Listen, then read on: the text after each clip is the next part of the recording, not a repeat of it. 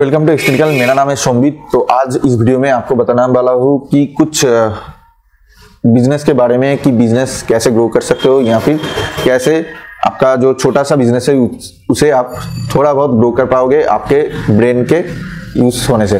तो चलिए देख लेते हैं इस वीडियो को। तो मैं कहना चाहूँगा, कोई भी बिज़नेस या फिर कोई भी काम एक्चुअली एक मेडिटेशन की तरह ही होता है। अगर आप उसे ठीक से करोगे या फिर कॉन्सेंट्रेट करके करोगे तो वही आपका मेडिटेशन हो जाता है और जो बिज़नेस है, वो आगे बढ़ता रहता है। तो आपको पहले तो फोकस करना पड़ेगा। कॉन्सेंट्रेट करना ही आपका फोकस जो है, वो बढ़ा सकता है और कॉन्सेंट्रेट कॉन्टिन्यूसली करने से आपका जो फोकस होगा, वो काफ़ी हद तक जल्द से जल्द होने लगेगा और आपको पता चल जाएगा कुछ ही दिनों में या फिर कुछ ही वक्त में आपका जो स्पीड है वो काफ़ी बढ़ गया है। बिज़नेस है एक, एक ऐसी चीज़ जो कि आपके पास कुछ भी अगर काम हो, वो अगर आप continuously one time two time three time four time करते हैं तो आपका स्पीड जैसे जैसे बढ़ता चला जाता है तो वैसे वैसे आप शायद एक दिन में जो काम पहले स्टार्ट किए थे, वो एक दिन में होता था दो बार या एक बार। एक बार से दो बार से ज़्यादा नहीं होता था, और उसके बाद जब आप काफ़ी दिनों तक, काफ़ी सालों तक काम कर रहे हैं, और उसके बाद जो देखना, देखने को मिल रहा है कि आपका जो दो से तीन बार होना चाहिए था मैक्सिमम स्पीड वो जाके आपका हंड्रेड टाइम्स भी बढ़ सकता है, आप अगर चाहते हो तो। और ये काम का काम का जो है, उसको मल्टीपल करना ही बिज़नेस का काम है, क्योंकि उसका प्रॉफिट जो है, वो भी मल्टीपल होता रहता है और बिज़नेस में जो प्रॉफिट है टोटल प्रॉफिट वो बढ़ता रहता है। तो इसी के लिए हम लोग बिज़नेस की बिज़नेस को पसंद करते हैं और बिज़नेस करना चाहते हैं। तो इस बिज़नेस को अगर आगे बढ़ाना हो तो हमें कॉन्टिन्यूसली एक काम को, जैसे कि मैंने कहा, जो स्पीड बढ़ाने के लिए या फिर वहाँ पर हमको टोटल ग्रिप ग्रिप ज़्यादा अच्छा मिलने के लिए हमें कॉन्टिन्यूसली एक चीज़ों के ऊपर काम करना पड़ता है। पहले तो जान लेते हैं कि हम क्या चाहते हैं, हम किसके लिए इंटरेस्टेड है, कौन चीज़ या फिर कौन सा प्रोडक्ट या फिर कौन सा सर्विस के लिए हम बने हुए हैं, यानी हम क्या सोच रहे हैं, हम सारी ज़िंदगी क्या करते आए हैं और वो कौन सा बिज़नेस के लिए सही होगा। अगर हम समझते हैं कि हम कोई शॉप शॉप खोलेंगे शॉप ओपन करेंगे और उसके उसे मैं एक मोबाइल का रिपेयर सेंटर बनाऊँगा। और तो वही बनाओ, कोई बिज़नेस छोटा या बड़ा नहीं होता, छोटे से ही स्टार्ट करना पड़ता है, जो धीरे धीरे करके बड़ा होता है। और जो फास्ट बड़े से स्टार्ट करता है, शायद वो नीचे गिर जाता है, क्योंकि उसका जो इन्वेस्टमेंट रहता है, बड़ा बिज़नेस के लिए बड़ा इन्वेस्टमेंट तो ज़रूरी होता है, उसके साथ कामकाज भी कामकाज नहीं कर पाओगे। आपका स्किल नहीं रहेगा तो बड़ा बिज़नेस करने का कोई फ़ायदा नहीं है। तो आप अगर छोटे बिज़नेस से ही स्टार्ट करना पसंद करोगे तो आपके लिए सही रहेगा। आप धीरे धीरे करके ऊपर उठने लगोगे और जो आपका स्पीड होगा स्किल्स होगा, सब कुछ मल्टीपल होता रहेगा आपके प्रॉफिट के साथ और एक दिन जाके जो वो बड़ा इंडस्ट्री के हिसाब से बन सकता है। तो सारे बिज़नेस छोटे से ही शुरू हुआ था, कभी बड़ा बिज़नेस एक साथ, एक बार में इस्टेब्लिश नहीं हुआ था। तो यही बात है, आपको समझना पड़ेगा, एक बार बार बार करने से जैसे कि आपका प्रॉफिट मल्टीपल मल्टीप्लाई होता है, तभी आपको एक बार, एक काम जो बार बार करके कंटिन्यूसली कर जाने पे आपका वो काम आसानी से हो जाता है और स्पीड में होने लगता है। एक काम अगर आप एक दिन में करते हो तो सौ काम आप एक दिन में करने लगोगे। अगर अगर आप वो काम को ठीक से कंसंट्रेट करके और कंटिन्यूसली करो, रोज करो, या फिर रूटीन के हिसाब से करो तो यही सब बिज़नेस में होता रहता है और बिज़नेस का जो इंफ्रास्ट्रक्चर है, जो बोर्ड ऑफ़ डिरेक्टर से लेकर नॉर्मल से एम्प्लॉय सफ़ाई वाले तक तो वहाँ पर काफ़ी सारे सिस्टम रहता है। सिस्टम एक ही सिस्टम है। सिस्टम में काफ़ी सारे लोग रहते हैं एम्प्लॉयज़ रहते हैं। तो ये सब मैनेज करते हैं टोटल बिज़नेस को। मैनेजर तो मैनेज करने के लिए ये मैनेजर होता है जैसे कि फ्लोर मैनेजर एक फ्लोर में जो जो लोग काम करते हैं उसका मैनेज उसको पूरी तरह से मैनेज कर लें। फ्लोर मैनेजर जो सीनियर मैनेजर है सीनियर फ्लोर मैनेजर वो काफ़ी सारा फ्लोर को देखते हैं फ्लोर मैनेजर के ऊपर बैठे हुए। इस तरह से बोर्ड ऑफ़ डिरेक्टर्स के पास डिसीज़न जाता है डिसीज़न लेने का क्षमता वही है। तो इस तरह से काफ़ी सारे स्टेजेस होता है। एक बार में क्रिएट नहीं हुआ एक आदमी से ही पहले बिज़नेस आइडियाज़ बनते हैं उसके बाद बन, बनाना पड़ता है। आपका जो बिज़नेस का प्रोजेक्ट प्लान्स बनाना पड़ता है आइडियाज़ से प्लान प्लान से आपका बिज़नेस को रूप देना पड़ता है वास्तविक में। आ, अगर आप आपका जो इमेजिनेशन है इमेजिनेशन कैलकुलेटिव हो तो आपका बिज़नेस और भी बढ़िया होता है क्योंकि आपका इमेजिनेशन ही आपको एक बिज़नेस खड़ा करने में ज़्यादा से ज़्यादा मदद करता है क्योंकि इमेजिनेशन ना हो तो आप बिज़नेस का कोई स्ट्रक्चर नहीं बना पाओगे नहीं सोच पाओगे। अगर आप सोचते हो कि वैसे वैसे करके कुछ बिज़नेस स्टार्ट कर दिए जाए तो भी करो। तो स्टार्ट करने पे आपको कहीं सारा दिक्कत आएगी। मैं तो साफ़ साफ़ ही कह देता हूँ, कोई भी काम आपको दिक्कत के बिना नहीं होगा। क्योंकि वही आपका जो सीखने में मदद करेगा सीखने में जो मदद करेगा वही दिक्कत है। तो दिक्कत को सीखो और उसका सॉल्यूशन निकालो यही आपके लिए होगा। और यही बार बार करने पे आपका स्पीड भी आ जाएगा। आप एक सॉल्यूशन अगर निकलते हो दस बारह दिन या, या फिर एक महीने में या फिर उससे भी ज़्यादा एक साल में तो आपको बाद में जो सॉल्यूशन चुटकी में निकल आएगा। और आप सोच सकते हो कि कैसे कैसे आपका स्पीड बढ़ जाना लगता है। और जो स्पीड बढ़ जाता है आपका प्रोडक्शन प्रोड्यूस करते हो सर्विस या फिर कोई गुड्स को सप्लाई करते हो या फिर कोई भी बिज़नेस कर रहे हो, उसका स्पीड बढ़ जाने से आपका, उसका प्रोडक्शन बढ़ जाता है सर्विस का प्रोडक्शन भी हो, जैसे भी प्रोडक्शन हो गुड्स का या कोई प्रोडक्ट्स का प्रोडक्शन भी बढ़ जाता है। उसके बाद जो प्रॉफिट आने लगता है, जो एक दिन में एक एक जगह से प्रॉफिट आने वाला है वहाँ पर आपको एक दिन में सौ जगह थे सौ जगह से प्रॉफिट आना जाता लग, लग रहा था लग रहा होता है। तो यही सारी बात है बिज़नेस का। आप अगर बिज़नेस करना चाहते हो तो ठीक से ठान लो कि आज से ही करना है और बिज़नेस में कोई भी इन्वेस्ट के बगैर तो बिज़नेस नहीं हो सकता। ये सही है क्योंकि आपको पैसा ही नहीं आपने आपको भी इन्वेस्ट करना पड़ेगा। क्योंकि बिज़नेस अगर आपने आपको इन्वेस्ट नहीं करोगे तो कौन करेगा? बिज़नेस तो अकेले खाता पड़ता नहीं है उसको उसे बैकअप देना पड़ता है। कोई इंसान ही ऐसे कर सकता है जो बिज़नेस को एक एग्जिस्टेंस के हिसाब से देखता है और जो इमेजिनेशन है बिज़नेस का प्लान है, वो धीरे धीरे वास्तविकता में पूर्ण करता है। तो यही बात है जो बिज़नेस में सारे काफ़ी काफ़ी लोग मिस्टेक कर जाते हैं। बिज़नेस में पैसे डाल दिए। पैसे डालने के बाद तो देखा कि संभालना बेकार हो गया है और बिज़नेस रिलेटेड एक बिज़नेस खड़ा करने में उसको शायद और भी वक्त लग जाए। तो बड़ा वाला जो बिज़नेस है, यानी आगे वाला जो बिज़नेस है, वो नीचे गिरने लगे जल्दी से। तो यही सारे बात है जो बिज़नेस में होता रहता है। मैंने भी काफ़ी मिस्टेक किया। मिस्टेक से मैं घबराता तो हूँ। हाँ भाई, घबराना तो सबको पड़ता है क्योंकि मैं सीख नहीं पा रहा हूँ। तो मुझे सीखने की कोशिश करना पड़ता है और उसके बाद मैं जब सीख जाता हूँ तो उसके बाद रिज़ल्ट आता है तो बढ़िया। बहुत अच्छा लगता है तो मैं कहना चाहूँगा, आप अगर ठीक तरीके से नहीं समझे इस बात को तो फिर से दोहराता हूँ। एक बिज़नेस खड़ा करता हूँ, शायद वो बिज़नेस मेरा आईटी फार्म का है। आईटी फार्म का जो बिज़नेस है, वहाँ पर आईटी डिपार्टमेंट का कुछ एम्प्लॉयज़ है, वो काम कर रहे हैं मेरे लिए। और उसके बाद जो है, मैंने और एक बिज़नेस को शुरू करना चाहा, एक डिफरेंट बिज़नेस को शुरू करना चाहूँगा। अगर कुछ फ्रूट्स के लिए जो शॉप है, वो खोल के कुछ जगह पर दिया है तो वहाँ पर मुझे एम्प्लॉयज़ तो रखना ही पड़ेगा तो वो रख दिया। बट ये दोनों रिलेटेड नहीं है ये एक फ्रूट्स बेच, बेचने का काम है जो मार्केट पॉलिसी जो इनका और जो मार्केटिंग रिलेटेड आईटी डिपार्टमेंट का आईटी आईटी फार्म है उसका टोटली डिफरेंट हो गया। तो इसमें मुझे तो दिक्कत आएगा। तो यही बात अगर मैं पैसे के लिए करता हूँ तो मुझे पैसा ज़रूरी है तो वो भी मैं कर पाऊँगा। अगर मुझे इंटरेस्ट नहीं, पैसा भी है मेरे पास तो मुझे प्रॉब्लम हो जाएगा कि इस, इनका प्रोसेस इनका प्रोसेस यहाँ, इनका सिस्टम इनका सिस्टम दोनों ही अलग तरीके से होता है और हो रहा होगा भी। तो इसके लिए एक ऐसा बिज़नेस खड़ा करने का सोचो अगर आपका पहले से ही बिज़नेस है तो उनका रिलेटेड आपने e commerce site e commerce business start किया है तो उसके साथ आप पैकेजिंग के लिए सोचो तो ई कॉमर्स के साथ पैकेजिंग बिज़नेस आपका ही काम में आएगा। और ज़्यादा से ज़्यादा बिजनेसमैन बड़ा बड़ा जो बिजनेसमैन होता है, वो हमेशा सोचते हैं कि उनके पास जो है, वो उनके लिए इन्वेस्ट हो। तो वो दूसरों के अंडर या दूसरे के अंडर काम करना तो दूर की बात है, वो अपने लिए ही, अपने पैसे को अपने जगह पर इन्वेस्ट करता है, और जो प्रॉफिट आता है, वो अपने अपने आप ही अपने लिए दूसरे वाला बिज़नेस में या फिर वही बिज़नेस को बढ़ाने के लिए इन्वेस्ट होता है, अपने के लिए रखता है, जो उनका मर्ज़ी है। तो यही सब बात है। कई कई लोग मैं, मैंने देखा कि बिज़नेस करना चाहते हैं बिज़नेस का बी भी नहीं समझते एक्चुअली बिज़नेस क्या है, मैं कैसे बिज़नेस करना चाहूँगा। क्योंकि उनका एक बार में जो सोच है, सोच काफ़ी लिमिटेड रहता है। जो लिमिटेड सोच के बने हुए हैं ना वो अगर उनका सोच अगर एक्सटेंड नहीं करोगे, करेगा तो वो कैसे बढ़ा पाएगा?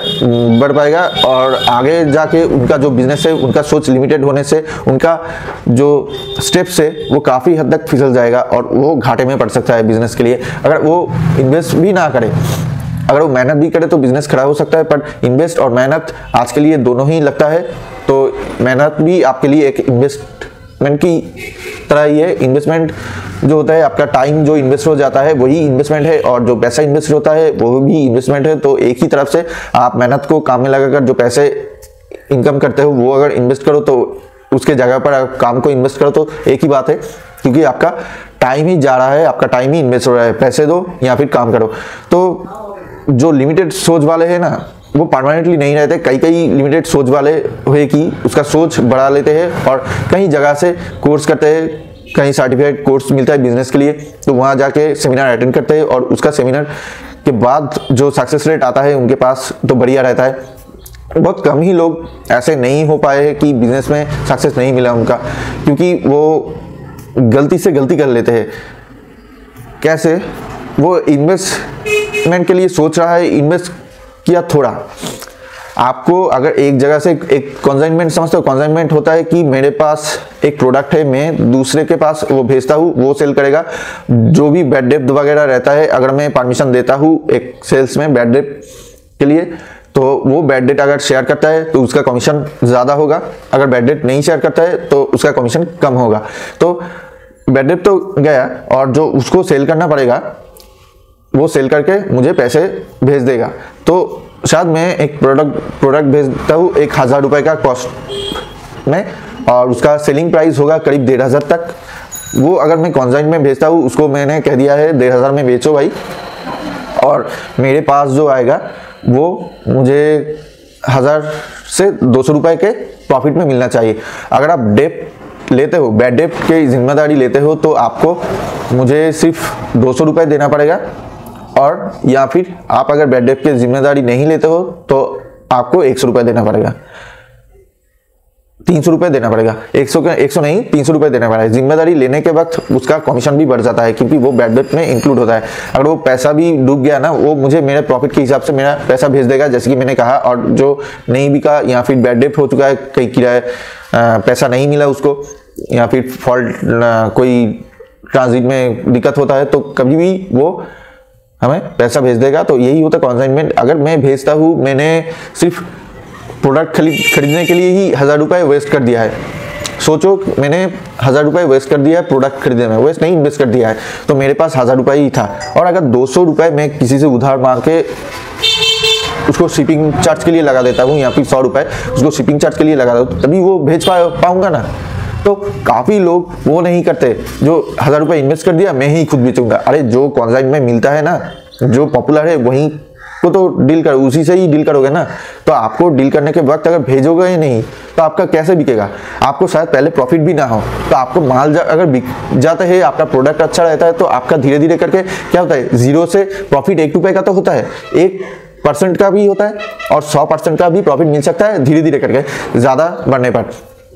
आप एक चीज़ से एक हज़ार रुपए की चीज़ से दस रुपए प्रॉफिट करो या सौ रुपए मिनिमम सौ रुपए प्रॉफिट करो।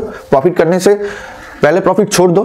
तो अगर कस्टमर खुश होता है तो आपको ज़्यादा से ज़्यादा ऑर्डर करेंगे। तो ऑर्डर करने पे आपको अगर ज़्यादा प्रोडक्शन या फिर ज़्यादा प्रोडक्शन करने में कॉस्ट क्या होता है? घट जाता है थोड़ा। तो थोड़े कॉस्ट में आपका जो प्रॉफिट दिखने को मिल जाएगा और थोड़ा कॉस्ट का जो प्रॉफिट है, आपको एक हज़ार का प्रोडक्ट वाला चीज़ अगर हज़ार पीसों में चाहिए तो सोचो, आपका जो सौ रुपए का मार्जिन आते हैं तो वो तो आता ही रहेगा और उसके बाद जो सौ रुपए तक की कम हो जाएगी, या फिर यानी आपका जो हज़ार रुपए में खरीदने वाले हो, जो चीज़ या फिर हज़ार रुपए कॉस्ट पड़ रहा है, उसके जगह पर आपको आठ सौ या नौ सौ रुपए पड़े तो तो नौ सौ रुपए का अगर कॉस्ट पड़े तो पर नौ सौ रुपये में आपको मिल जाता है एक्स्ट्रा हंड्रेड रुपीज़ के प्रॉफिट यानी टू हंड्रेड रुपीज़ का प्रॉफिट मिल जाता है और आपको हंड्रेड ये नहीं थाउज़ेंड रुपीज़ भेजना है थाउज़ेंड पीसेस भेजना है थाउज़ेंड पीसेस भेजने के बाद आपको कौन सा प्रॉफिट हाथों में आएगा बैड डेप को छोड़ दो, बढ़िया सा नुकसान हो गया है, घाटा में हो तो फिर हंड्रेड रुपीज़ ही अपना सेव कर लो हंड्रेड या डेढ़ सौ डेढ़ सौ इंटू वन थाउज़ेंड यानी पंद्रह लाख 1.5 लैक्स 1.5 लैक्स का आपका प्रॉफिट हो जाता है। यहीं से आपका बिज़नेस फिर से शुरू करो, जो उधार लिए हो, उसको वापस करो। तो ये सिर्फ़ 1.5 लाख का प्रॉफिट का सॉल्यूशन मैं आपको बता रहा हूँ। तो यही जगह लोग गलती कर देते हैं। आप जब इन्वेस्ट करना चाहो ना, आपको प्लान होना चाहिए उधार लेने का और कोई अपने तरफ़ से बैकअप होना चाहिए कि हम कैपिटल को कैसे इन्वेस्ट करें इन्वेस्ट करना ही पड़ेगा और कंप्लीट करें इस चीज़ को। मैं पहले ही कुछ खरीद लेता हूँ, उसके बाद मुझे प्लान नहीं आता। इसको पहले से जानना पड़ेगा। आप अगर पूरी तरह से नहीं जानते हो बिज़नेस के प्रोडक्ट्स को तो आप नहीं बेच पाओगे। या फिर दूसरे को दूसरे को सहारे में लो, या फिर दूसरे का सहारा लो। एक ही बात होता है आप अगर सहारे सहारे ले, नहीं लेते हो तो कैसे चलेगा? आपका ये प्रोडक्ट अगर आप बेचते हो थोड़े थोड़े करके कस्टमर इंटरेस्टेड है और वो आपके ऊपर डिपेंडेबल है डिपेंडेंट हो गया है तो आपको ज़रूर वो प्रोडक्ट दूसरे बार भी बेचना चाहिए और आपका रिस्पॉन्सिबिलिटी रहता है कि ज़्यादा से ज़्यादा मार्जिन रख के आप बेचो। नहीं आपका रिस्पॉन्सिबिलिटी रहता है कम से कम मार्जिन रख के बेचो या फिर आपका जो एक प्रोडक्ट बेचने में कॉस्ट आएगा प्रॉफिट आएगा, शायद सौ रुपए से दो सौ रुपए तो वो ज़्यादा से ज़्यादा बेचने में शायद आपको पर प्रोडक्ट में कॉस्ट के ऊपर मार्जिन रख के मिले, शायद फिफ्टी रुपीज़ तो फिफ्टी रुपीज़ सौ में कमाना चाहते हो, या फिर टू हंड्रेड रुपीज़ एक बार में? तो आपका एक प्रोडक्ट बेचने से टू हंड्रेड रुपीज़ प्रॉफिट तो हो गया है। अगर आप सौ प्रोडक्ट बेचोगे पचास रुपए के प्रॉफिट में तो आपका कितना होता है? पाँच हज़ार रुपये पाँच हज़ार रुपये का प्रॉफिट आपको मिल जाता है अगर तो आप क्यों 200 के लिए काम करोगे? तो भेजो। और अगर आप ज़्यादा से ज़्यादा प्रोड्यूस करते हो चीज़ें और सर्विस अच्छे करते हो, उसे सर्विस अच्छे करो। और भी डिमांड बढ़ जाएगा। डिमांड बढ़ने से आपका प्रोडक्ट का जो सेलिंग प्राइस है, वो भी घटता जाएगा। और अगर बहुत सारे डिमांड बढ़ जा जाता है और आपका डिलीवरी भी नहीं हो सकता है तो आपका ये रिस्पॉन्सिबिलिटी ख़त्म हो जाता है और बिज़नेस में जो इन्वेस्टर है, वो भी शायद इन्वेस्ट ना करने लगे। क्योंकि जो कस्टमर है, वो पहले से ही चले जा चले जा चुके होंगे, क्योंकि वो दूसरे का जो चीज़ है, वो खरीदेंगे। आज का कंपटीशन के कंपटीशन के मार्केट में आपको शायद देखना पड़ेगा कि कंपटीटर क्या बेच रहा है, उसे कम में या फिर उसे अच्छा क्वालिटी का प्रोडक्ट देना पड़ेगा आपको। यही बात है। अगर आप अगर दे सकते हो तो, तो ही आपका बिज़नेस चलेगा। तो आपका बाउंड्री अगर छोटा है तो उसे बड़ा कीजिए। आप घूमने जाइए कुछ नया नया चीज़ें सीखिए। यूट्यूब में देखिए तो आपको कहीं सारा आइडियाज़ भी मिल जाएगा। बिज़नेस कैसे करना है? और फ्री में ही आपको यूट्यूब से टिप्स भी मिलेगा। या फिर आपका प्रोडक्ट जो है, वो कैसे पैकेजिंग करना है, कुछ भी छोटा छोटा जो टिप्स होता है, वो भी यूट्यूब में मिल जाएगा। और हमारे चैनल को सब्सक्राइब कर लीजिए तो यहाँ पर बहुत सारे ऐसे टिप्स आने वाला है, जैसे कि इस वीडियो में मैं कह रहा हूँ तो बिज़नेस में कभी हार मानना मत। यही सब में कहता हूँ बिज़नेस सभी जगह पर बिज़नेस है। आप अगर आपके रिलेटिव से भी बातें करते हो, वही पर बिज़नेस है। बिज़नेस डायरेक्टली तो नहीं कर कह सकता कभी, कोई भी नहीं कह सकता कि ये बिज़नेस के हिसाब से आप अगर अच्छी तरह से उसको सम्मान नहीं दोगे, वो भी नहीं देगा। यहाँ पर ही आ जाता है लेन देन का प्रथा। तो अगर आप लेन देन को समझते हो तो बिज़नेस को ज़रूर समझते होगे तो यही बात है। आप अगर किसी को रेस्पेक्ट करते हो रेस्पेक्ट मिलता भी है। आप अगर किसी को कोई चीज़ देते हो, वो बहुत ही खुश होता है। बिना खुश, बिना कारण के खुश कोई नहीं होता है। या फिर बिना कारण के कुछ भी कोई नहीं होता। तो नेचर भी बिज़नेस से खड़ा हुआ है। आप नेचर को कुछ दे रहे हो कार्बन डाइऑक्साइड जो दे रहे हो और जो पेड़ है, वो उसे कन्वर्ट करके आपको ऑक्सीजन दिला रहा है। यही भी बिज़नेस है। नेचर का रूल्स है, जहाँ पर बिज़नेस ऑलरेडी होता है। तो ये नेचर को समझो तो बिज़नेस को समझ जाओगे आज के लिए इतना ही। आपको अगर ये वीडियो अच्छा लगे तो लाइक और सब्सक्राइब कीजिए। और आने वाले दिनों में क्या जानना है आपको कमेंट कीजिए। और बहुत सारे वीडियोस आएँगे तो उसको देखने के लिए बेल आइकन को दबा लीजिए। तो पहले वाला ही वीडियो का नोटिफिकेशन आपके पास चला आएगा तो आज के लिए इतना ही। Thank you for watching this video good bye